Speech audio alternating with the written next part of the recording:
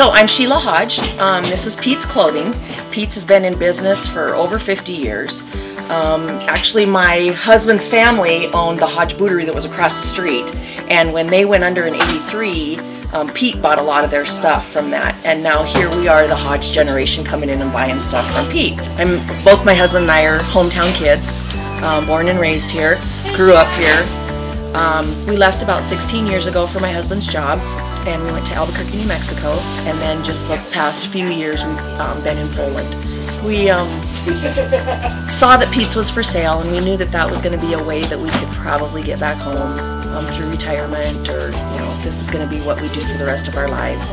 Belle Fourche is amazing. It is really an amazing little town.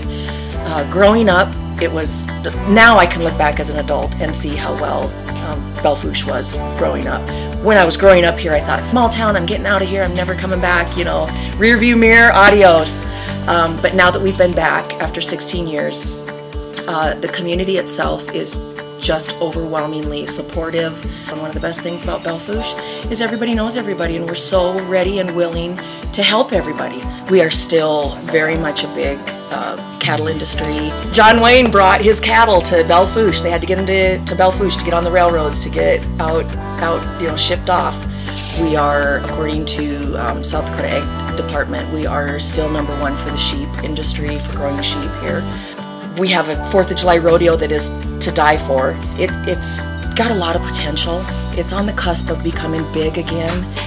To start with, my building is over 100 years old. Um, we have some just general basic stuff that we would like to improve on. One is a bathroom facility or water on the main level. Uh, we have no access to any water on the main level for ourselves or any customers that need to use a restroom. We have to either go downstairs in the dungeon or up two flights of steep steps to the apartment upstairs. We want to keep it genuine to, to what it is. It is one of very few flat iron buildings.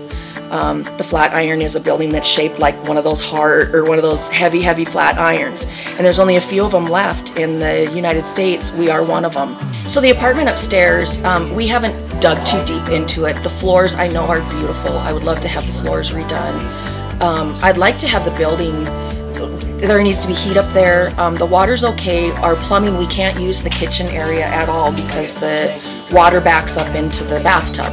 So we've got plumbing issues.